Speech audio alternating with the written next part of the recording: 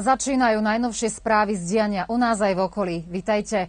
Prezident Srbska Aleksandr Vučić odovzdal dnes ústavom a inštitúciám, ktoré boli vyznamenané pri príležitosti Dňa zmierenia v Prvej svetovej vojne, zlaté a strieborné medaily za zásluhy v boji proti koronavírusu. Zlaté medaily dnes dostali tieto inštitúcie. Republikový ústav pre transfúziu krvi, Ústav pre verejné zdravie dr. Milan Jovanovič Batut, Ústav pre verejné zdravie Vojvodiny, Virologický ústav Torlak, Ústav pre jadrovú energiu a Ústav pre molekulárnu genetiku a genetické inžinierstvo.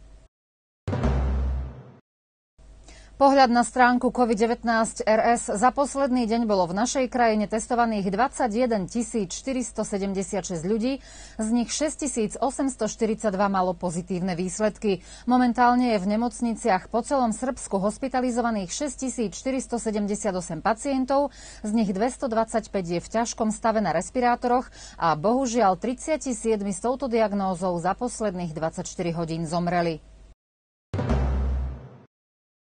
Od dnes počas desiatich dní budú platiť nové nariadenia vlády Srbska, ktoré boli vynesené kvôli tomu, aby sa v čo najväčšej možnej miere zabránilo šíreniu koronavírusu. Do 3. decembra teda platí, že pracovný čas pohostinských objektov, kaviarní, reštaurácií a rôznych klubov, ale aj obchodných a zábavných centier, divadiel, kín a ďalších inštitúcií v oblasti kultúry je ohraničený do 18. hodiny. Pracovná doba môže byť len v rozmedzi od 5. hodiny ráno do večera do 18. 18. hodiny. Obchody a malopredajne môžu byť otvorené do 21. Lekárne, benzínové stanice a donáška jedla pracuje neobmedzene.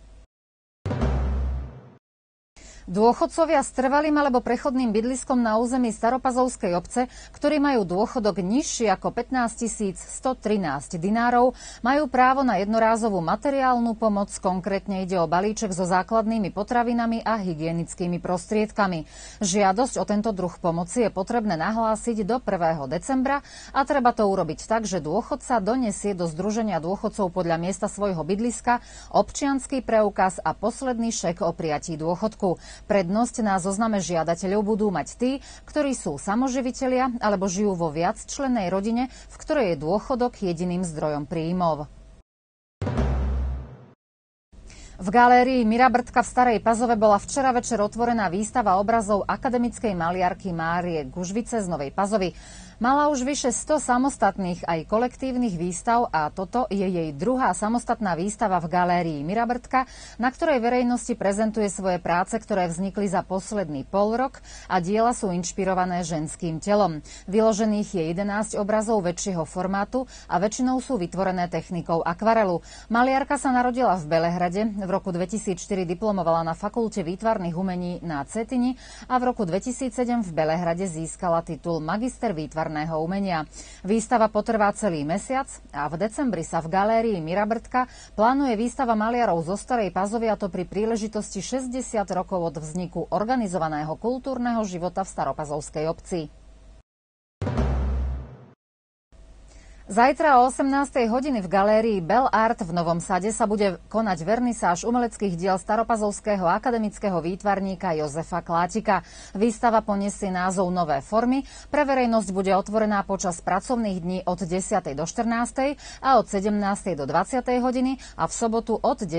do 14. Kvôli koronavírusu je dovolené, aby v galérii boli naraz najviac traja návštevníci. Výstava bude otvorená do 9. decembra.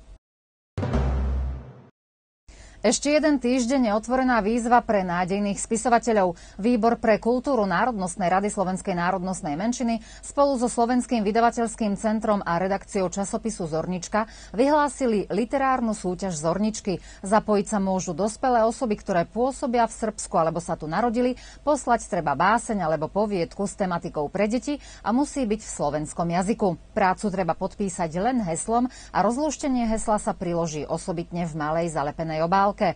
Odborná komisia udelí tri ceny v kategórii próza a tri ceny za poéziu. Súťaž je otvorená do 30. novembra a všetky bližšie informácie nájdete na stránke Národnostnej rady v záložke výzvy. Verejnokomunálny podnik Vodovoda kanalizácia oznamuje užívateľom vody, že kvôli nevyhnutným prácam na vodovodnej sieti v Golubinciach a Starej Pazove bude voda vypojená podľa tohto programu. V stredu 25. novembra od 10. do 12. budú bez vody obyvateľia v Golubinciach a vo štvrtok 26. novembra ostanú bez vody v čase od 22. hodiny večer do 1. hodiny po polnoci obyvateľia v Starej Pazove. Všetky bližšie informácie vám poskytnú na telefónnom čísle čísle podniku Vodovoda kanalizácia 022 310 330.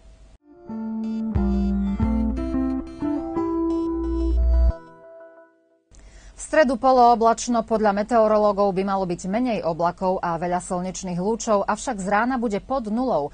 Najnižšie teploty mínus 4 a najvyššia denná 9 stupňov. Slabší vietor po celý deň zafúka z východu. A pred záverečnou zvučkou ešte meniny. Dnes vo Vojvodine oslavujú Emília a Milina, zajtra Katarína. Dámy, všetko najlepšie a všetkým vám pekný zvyšok dňa. Dávajte na seba pozor.